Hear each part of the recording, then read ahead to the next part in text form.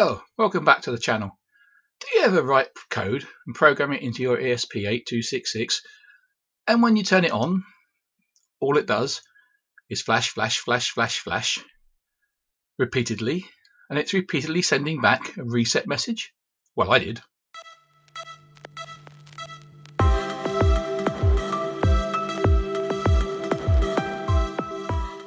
I recently programmed my ESP8266 and uh, it wasn't behaving at first. It wasn't doing anything. It just booted. And so I put a command in. I wanted to see what was happening. And this was the command that I added. First of all, I added the ESP logi, you know, the uh, thread that it was in and the fact it was called. And as soon as I added that, that was the effect, which was strange because I then changed it to a printf and the printf printed. It didn't flash and it printed. Bit concerned. So then thinking about it, I had to look at what the error message was. Oh, and just in case, just in case you forgot to read the title, I'm using the free FreeRTOS. This was the error message. Basically, the Stack Canary watch point was triggered, and it was triggered by the HTTP underscore server thread meditation error.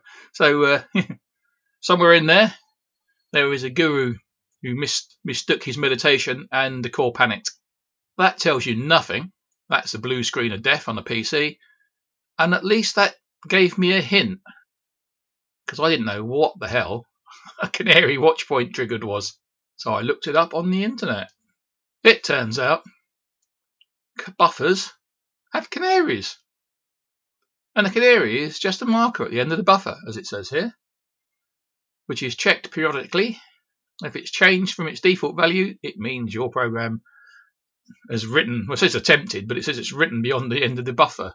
So you've had a buffer overflow. Armed with that, I went back, looked at my code, and lo and behold, you know, this this is the stack buffer size. And so it would appear, for what I'm doing, 1024 bytes isn't big enough for the stack buffer. Thought it was, but it wasn't.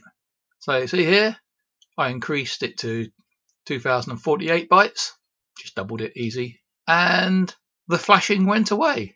And I could go back to using the uh, log files, or log printing, and I found a silly typo, and then the program was happy, and it works. So, you know, if you get flashing errors, read what the log says, as it certainly helps. Thanks for watching. If you're not a, not a subscriber, please subscribe, hit the bell for notification, and I'll see you on the next one.